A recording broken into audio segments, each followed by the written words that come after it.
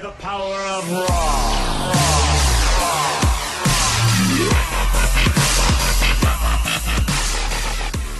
What's going on, everybody? This is Anubis Rah, aka Rah the Reflex from the Main Event Mafia and Barber Lifestyle on Facebook.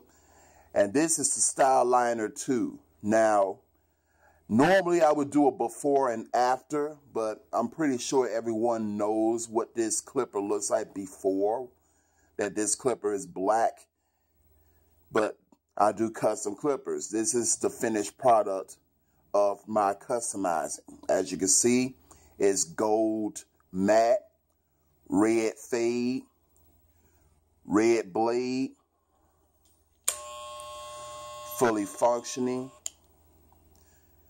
won't chip, won't melt, nice shine. So if you want your clippers customized, hit me up.